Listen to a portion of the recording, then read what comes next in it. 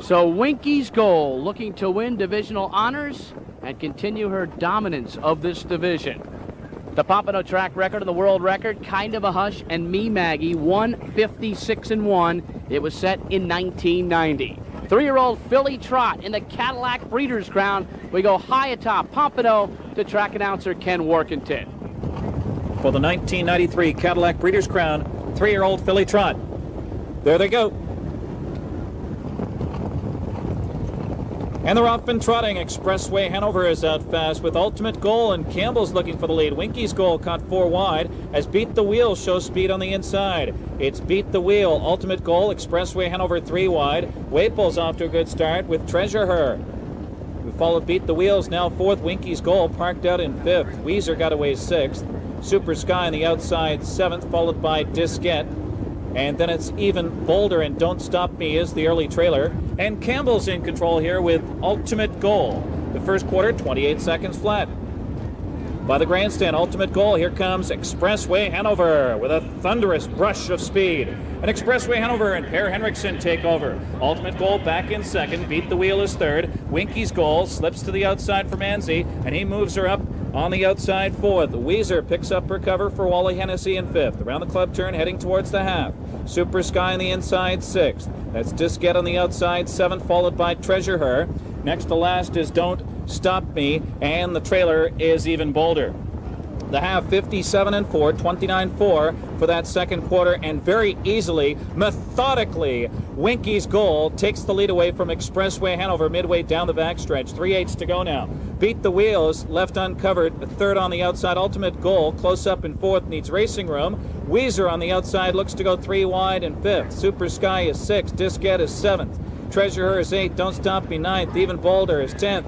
And the three quarters, 126 and one. It's Winky's goal by a length. Expressway Hanover tips to the outside and will give her a tussle as they swing off the turn through the stretch. Winky's goal. Here comes Expressway Hanover who's looking for an upset. Winky's goal is all out. Manzi's asking for it all. Expressway Hanover on the outside. They battle hits apart. Dramatic finish here. Expressway Hanover and a huge Cadillac Breeders' Crown upset. Whoa. So it's Expressway Hanover, who went off tonight at 9 to 2, driven to victory by Per Henriksen. This filly's been in the money 16 of 17 this year. She won the division of the Bluegrass, and now she wins the Cadillac Breeders' Crown. Well, indeed, and close finish there, Bruce. Winky's goal with the lead as they turn for home. Expressway Hanover, who had been covered up after the half by Winky's goal, pulled the pocket for Per Henriksen and just got up at the wire in the final strides. Winky's goal putting in a very, very strong effort, but Expressway Hanover just nipping that one in the final few steps. So it's number five, Expressway Hanover, the daughter of Practice out of the Florican Mare Exclusive Way. We'll be back. Mild upset in this three-year-old filly trot as Expressway Hanover wins it. Owned by Josephine Spears, Sean Eisenhower, and Donald Tortorisi, bred by Hanover Shoe Farms and driven and trained by Per Henriksen and at this sizzling oval where world records are constantly set, a time of 155 and 4. Per, you broke the world's record with Expressway Hanover, your first victory ever in the Breeders' Crown. How does it feel? Feels incredible right now. Absolutely incredible, and especially to beat Winky's goal, you know, and that's uh, something extra too. And uh, you know, you just uh, got to appreciate that you get an opportunity to train horses like that, you know. Now, I spoke to you earlier. You said it was going to be tough, but you let Winky's goal go just past the quarter pole very easy. I had to. We went pretty good fractions there, and we went to the half. I, you know, I remember I looked there, and uh, we went to the half 57 and 4, and I thought that was enough pace. I had to let him go. I looked back and saw the other ones was a little taken already then, so uh, I figured it would open up. But uh, if I'm going to park him, you know, I don't know if I'm going to beat him, but that uh, turned out to be the right thing to do. It was a tight finish. Did you think you beat her?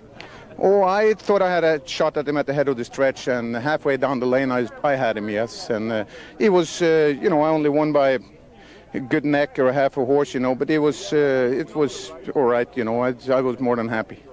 Congratulations once again, Per Henriksen. Thank you, appreciate it. Back to you, Bruce. Expressway Hanover, the second choice, returns $11.40, 280 and 320. Price is okay. Number seven, Winky's Goal, 240 and 280. That's okay. And number four, Ultimate Goal, $3.20 to show. The exacta 5 and 7, $22.20. Time of the mile 155 and 4. Once again, a new world record.